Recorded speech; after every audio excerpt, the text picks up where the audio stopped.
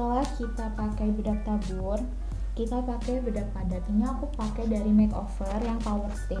Lagi-lagi dia ini matte karena untuk uh, kulit berminyak seperti kakaknya ya. Jadi kalian harus mengenali tipe kulit kalian. Bedak padat ini fungsinya untuk memperhalus dan memperkuat foundation yang tadi kita pakai. Jadi teksturnya tuh lebih halus gitu loh di di kamera. Di nyatanya juga sih nggak di kamera juga. Hmm, garing. Kita pakainya di tap tap lagi ya pokoknya jangan digosok karena kalau kita makainya digosok itu kayak uh, bisa merubah apa namanya merubah tekstur gitu loh. Merubah tekstur kulit karena takutnya si foundationnya itu kayak belum kering. Jadi kalau misalnya kita geser dia itu bakalan ikut geser gitu. Makanya kenapa diperkuat dengan di tap tap tap gitu.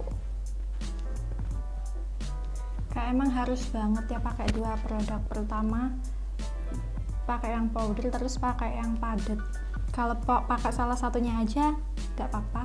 Apa gimana? Uh, kalau untuk kalau menurut aku pakai aku harus pakai dua-duanya karena uh, foundation tadi itu ngeringinnya itu pakai bedak tabur. Karena dia kan bentuknya buliran gitu loh. Jadi kayak kalau ketemu yang basah itu cepat kering gitu. Sedangkan ini kan dia bentukannya padat kan. Jadi kayak cuma nempel doang tapi nggak bisa nyerap terus kita baurin lagi pakai kuas biar dia itu nggak ada eh biar dia itu ngeblend jadi satu nggak ada garis. Itu yeay akhirnya kompleksinya udah selesai. Kita bakalan lanjut pakai pakai shading dan blush on serta highlighter. Itu pakai merek apa tuh kak? Ini aku pakai lawat kalian bisa pakai apa aja kok. Sekarang tuh banyak banget uh, face palette yang jadi satu sama eyeshadow juga yang lebih murah-murah. Contohnya itu kayak Sasa Kosmetik, Madame G itu sumpah murah banget. Kalian harus beli kalau misalnya nggak punya satu-satu kayak aku kayak gini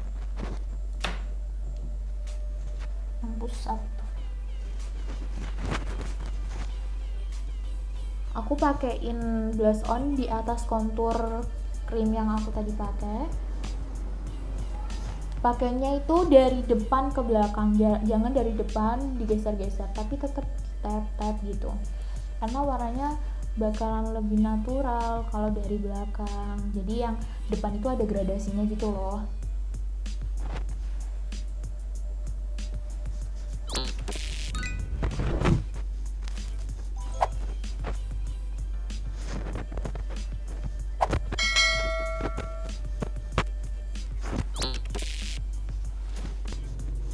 this idea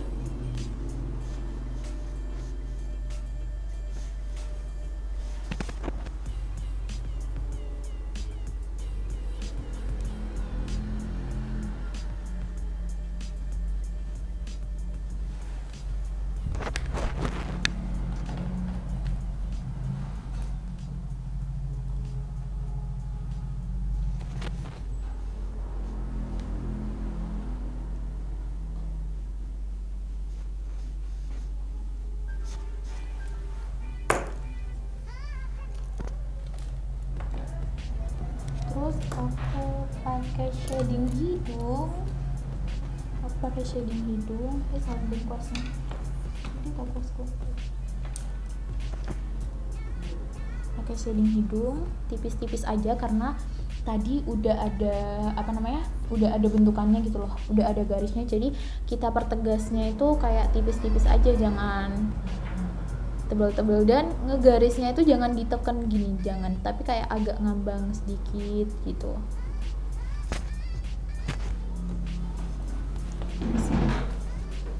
nggak lihat sana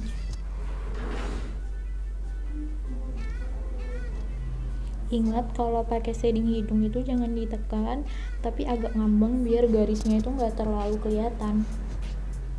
Tapi tetap ada shadingnya gitu loh.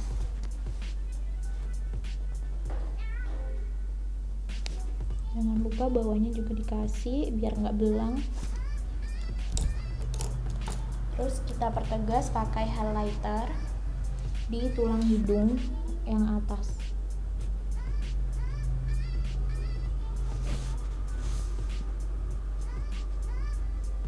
Aku tuh lebih suka nyelesain complexion dulu sebelum mata.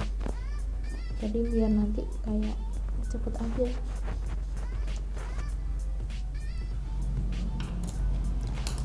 Terus pakai highlighter di pipi di atas blush on kalau misalnya uh, klien kalian itu banyak beruntusan di area sini jangan dikasih terlalu banyak karena itu bakalan uh, apa namanya kayak tambah nonjolin beruntusannya kalau dikasih highlighter. Tuh fungsi highlighter itu apa sih kak? Fungsi highlighter ini uh, sama kayak highlight yang tadi kita pakai dia itu kayak mempertegas dimensi muka aja gitu mempertegas tulang-tulang kita tulang pipi tulang hidung kayak gitu.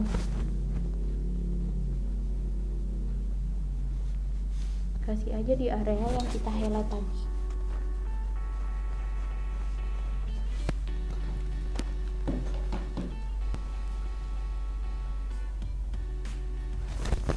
Makeup paling susah tuh bagian apa sih kak kalau aku tuh bagian mata karena mata tuh harus teliti banget. Kalau ada salah sedikit pasti looknya kelihatan salah.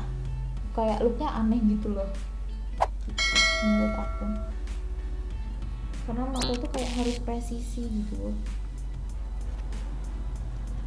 Terus kita pakai pensil alis aku pakai pensil alis dari Implora harganya cuma 8000 kalian bisa pakai pensil alis apa aja yang kalian punya. Tapi untuk pemula ini cocok banget sih buat latihan. Jadi kayak nggak apa kayak nggak sayang aja dipakai terus kayak gitu.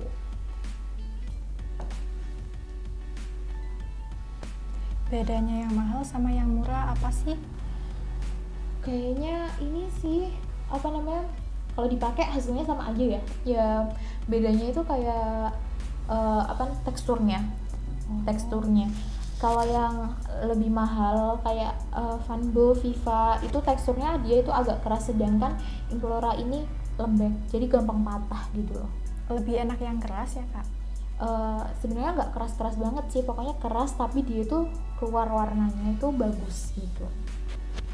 Selera sih kalau misalnya kalian udah jago kalian pasti bisa pakai apa aja gitu. Tapi untuk pemula aku saranin yang cepet keluar warnanya yang kayak gini. Jadi kayak nggak sayang udah murah gitu loh dibuat latihan gitu. Uh, buat pemula kalau pakai alis itu sebenarnya ada tiga, tiga titik. Ini di sini.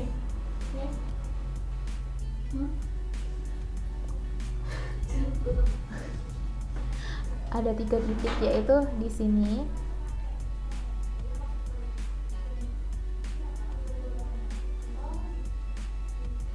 terus di sini kalian arahinnya dari suping hidung ya biar kayak enak aja nentuinnya. Ujung mata sini eh ujung mata ujung atas alis. Terus yang terakhir itu buat nentuin panjangnya alis dari sini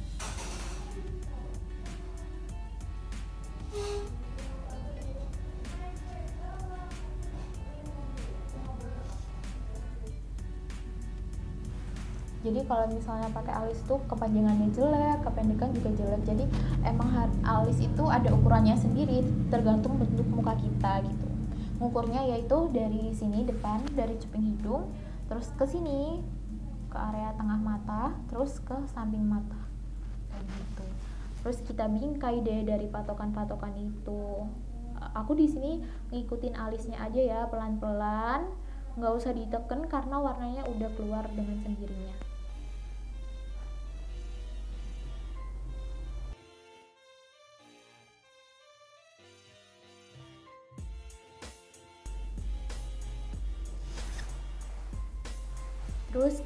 arsir dari belakang ke tengah. Jangan sampai depan ya.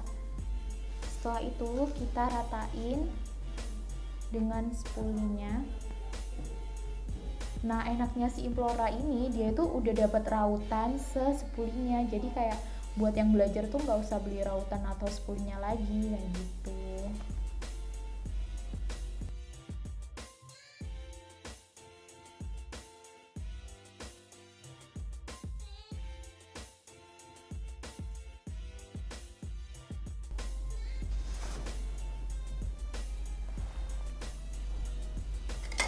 setelah alisnya kebentuk kayak gini kita concealerin.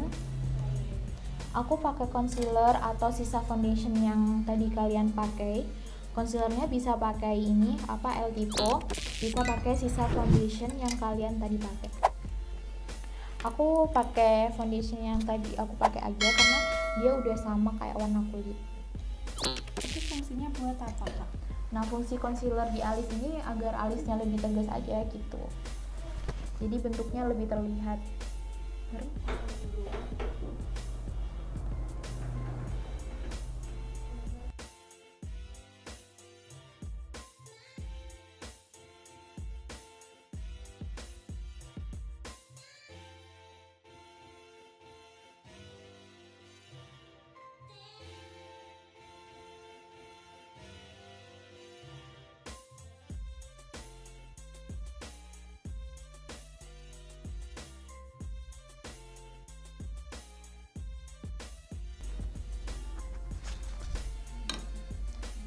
aku bakalan selesaiin alis yang sebelah satunya. Nanti kita kembali lagi. Selanjutnya setelah kita bikin alis kita uh, bikin eyeshadow. Kita bikin eyeshadow yang simple aja yang mudah dipahami ya guys. Kita cuman butuh tiga atau dua warna aja udah jadi. Ini aku pakai uh, eyeshadow dari paletnya Ana Ana Beauty Creation kalian bisa pakai warna eyeshadow apa aja yang penting warnanya hampir mirip. Di sini aku mau pakai warna yang peach.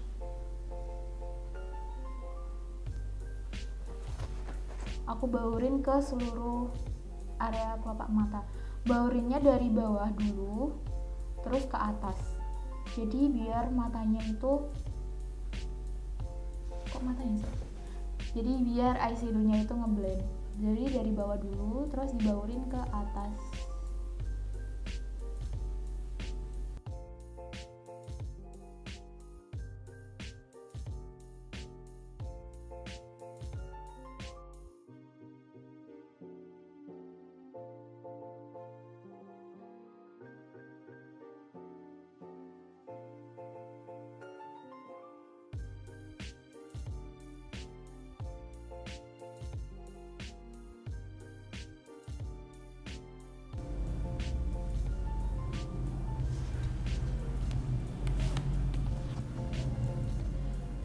terus kita pakai warna ini coklat bata untuk di ujung kelopak mata. Di ujung kelopak mata.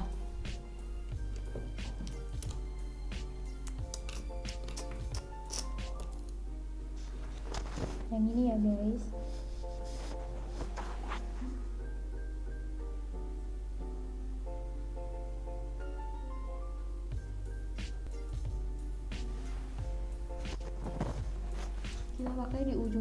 ujungnya aja di baurinnya jangan sampai ke atas juga. Karena yang atas itu warna transisi. Jadi kita baurinnya pelan-pelan biar nggak ada garis. Biar semuanya ngeblend jadi satu. Baru deh kita iniin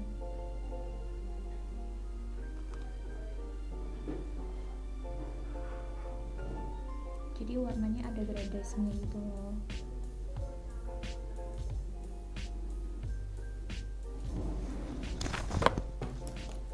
kalau misalnya ada sisa uh, apa namanya eyeshadow yang berantakan jangan kalian usah pakai jari tapi kita pakaiin brush aja. Karena kalau kita pakai jari akan ngecap di bedaknya. Selanjutnya kalau semuanya udah merembak kalau semuanya udah ngebaur kayak gini karena kita kan bikin looknya Korea ya jadi kita bikin eyeliner tapi pakai eyeshadow jadi ini cocok banget buat pemula kalian pakai flat brush kayak gini untuk eyelinernya. Terus kita pakaiin eyeshadow yang warna coklat.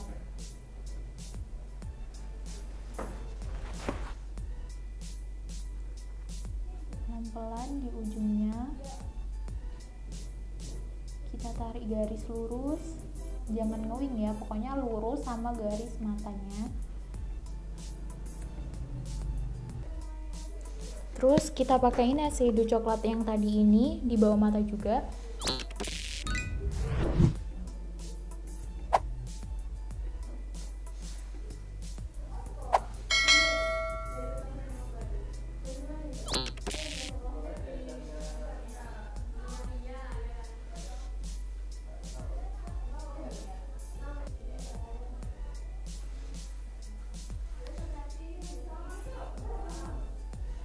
Nah, terus kita baurin pakai warna yang peach ini tadi di blend sama eyeshadow coklat yang tadi. Sedikit aja. Lihat apa?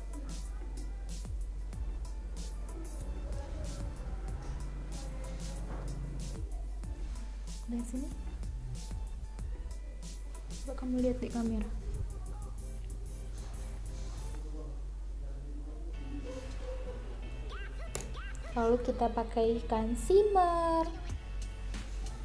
di tengah-tengah kelopak mata biar matanya lebih pop up.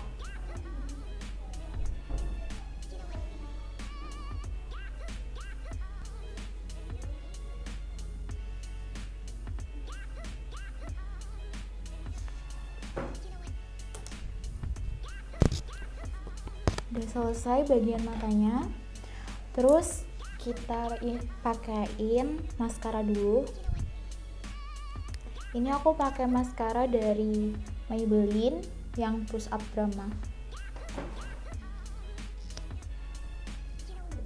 Udah ya gue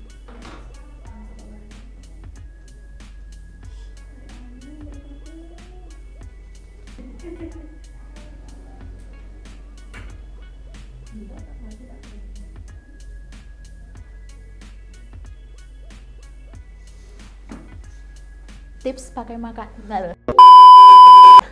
Tips makein orang maskara orang yang disuruh lihat bawah. Jadi lebih gampang. Lihat atas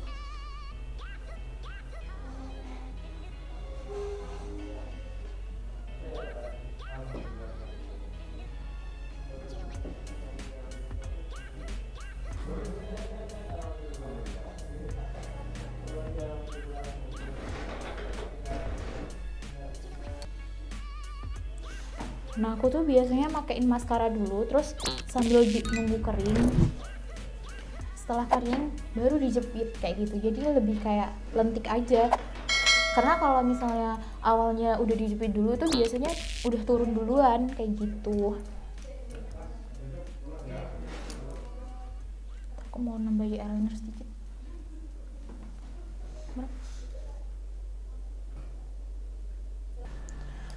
Nah ini udah kering baru kita jepit bulu matanya. Lihat bawah, jepit bulu mata orang itu harus de harus disuruh lihat bawah. Terus baru kita jepit.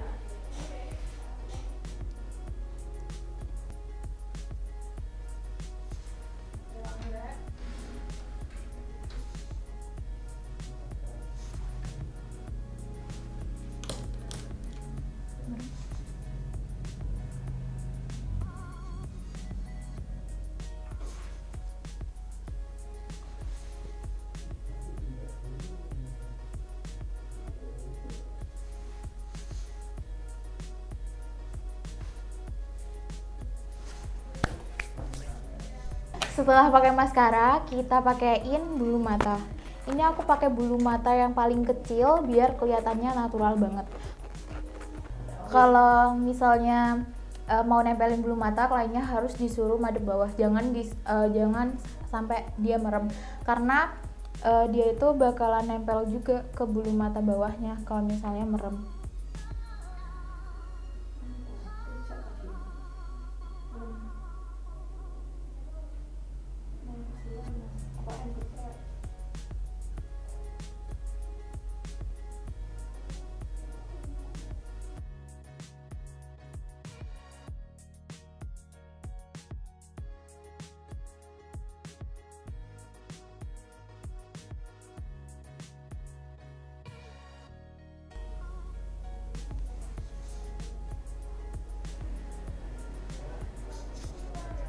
Perfeito, uma bem.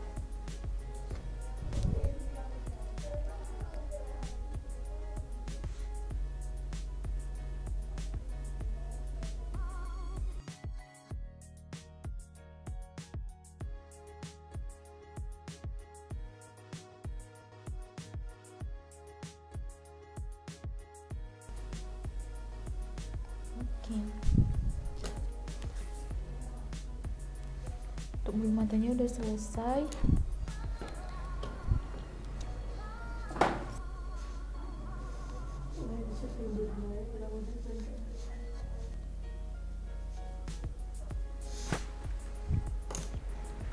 Terus sekarang kita beralih ke warna bibir alias lipstick. Nah, sebelum aku lipstickin, biasanya aku kasih blush on dulu di bibir. Karena biar warna pink atau nude-nya itu keluar. Dan dia itu ada efek kayak bibirnya itu kayak apa ya? Kayak cute gitu kalau misalnya dikasih blush on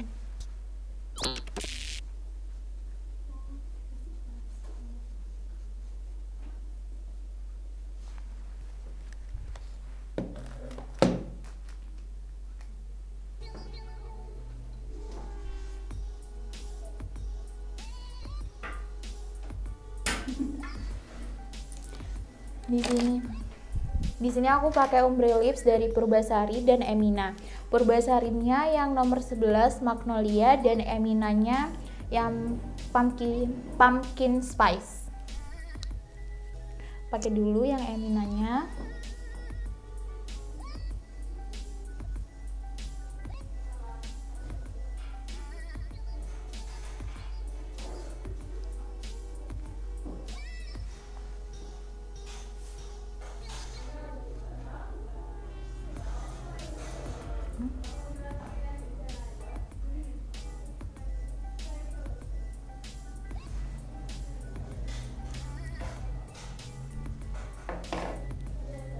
Terus kita pakai yang Purbasari matte ini di tengah bibir.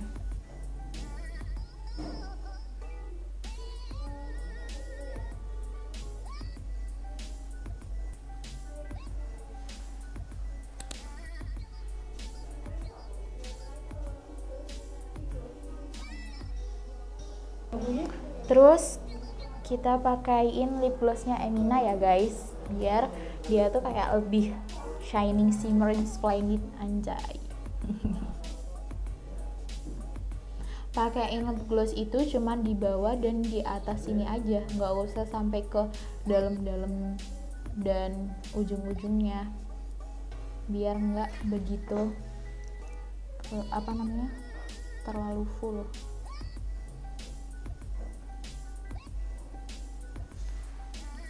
cakep anjrot ada suaranya nggak sih? Celing. bentar ya guys. Kita ganti kerudung dulu dan nanti aku kasih lihat hasilnya. Bye